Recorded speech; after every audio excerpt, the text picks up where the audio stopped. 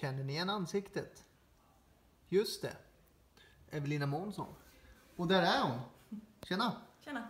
Men du, den där bilden var inte... Det kändes inte som att det var igår den där var tagen direkt. Nej, Jag tror det är nästan åtta år sedan den togs. Och eh, anledningen till att du fick den, det är att du blev Stig H-stipendiat här i eh, förra veckan. Hur- Grattis till det till att börja med. Tack så jättemycket. Hur kändes det? Eh, väldigt förvånad och otroligt eh, glad och tacksam. Kan man eh, på något sätt mäta det inom eh, hur stort det är så att säga? För mig är detta otroligt stort. Det är nog, det är till och med större än när jag vann på Vincennes. Och det är väldigt stort för mig. Och Vincent vann du med Visson from Entro. Ja, Vad är det som gör att det är så stort då? Är det just att det är Stigo eller eh, vad är det Ja, som... Vad är det just som... att det är Stig och sen om man kollar på namnen som har fått innan mig. Och ja, de två killarna som fick det tillsammans med mig som är otroligt duktiga enligt mig. Och eh, vad tror du anledningen till är att just du fick motta det här priset på Solvalla i, i söndag? Så vi kan börja med den frågan. Hur kändes det att ta emot det inför en stor publik eh, kriteriesöndag? Det var väldigt kul, det var det. Och varför tror du att eh, just du fick det? Eh, ja, varför? Jag vet inte. Men eh, jag hoppas att det är för att de tyckte att jag är duktig och eh, att de ser att jag satsar på detta och verkligen vill bli travtränare. Och, ja. Och just att du satsar på det här, det kan ju Team Westholm intyga. Ansvarig för Frankrike-filialen går väl bättre än någonsin skulle jag vilja påstå. Mm. Hur ser en dag ut i Evelina Månssons liv nere i Frankrike?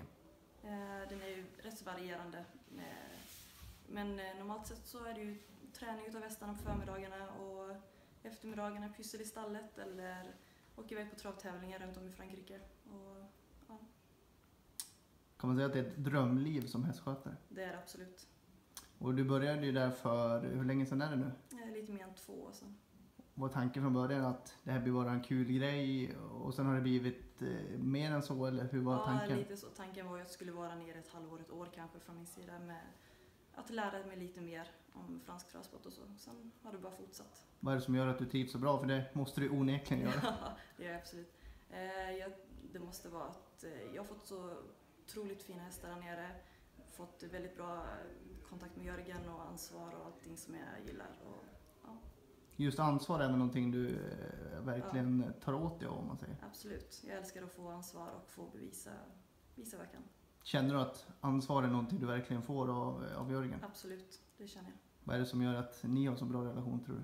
Eh, Det vet jag inte. Jag hoppas att han känner att han kan lita på mig och att jag hela tiden försöker bevisa det.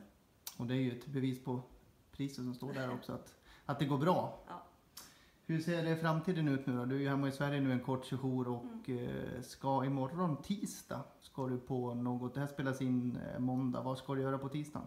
Eh, Då ska jag till Ultuna på någon utbildning med SLU som vi har blivit inbjudna, vi stipendiater då. Okej.